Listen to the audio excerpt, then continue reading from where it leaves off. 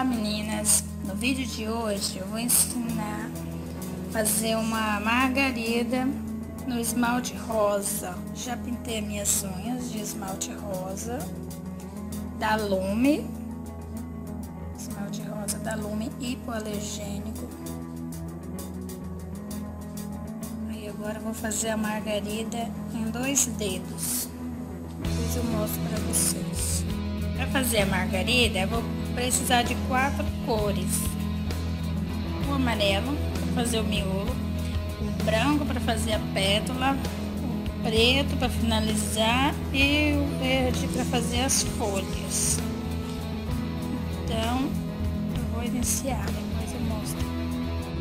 A margarida, eu vou precisar de um palito para fazer o miolinho e um pincel não muito para fazer a pétala e eu vou utilizar quatro cores para fazer a minha margarida. No início da minha margarida, eu coloquei o meu olhinho bem no centro, mais ou menos na direção onde eu quero ela. E agora eu vou fazer as outras pétalas. Assim ficou a minha margarida. Agora eu vou fazer as folhinhas. Agora eu já fiz as folhinhas, vou fazer um botãozinho bem no meio aqui. Agora eu vou usar o preto para finalizar o miolo da folha com os pinguinhos em volta, fechar a florzinha, fazer os risquinhos em volta.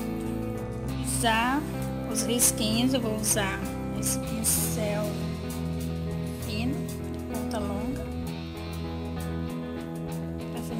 os galinhos.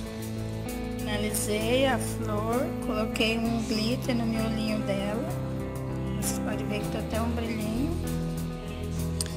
É, agora eu tô aguardando secar um pouquinho para passar a base em color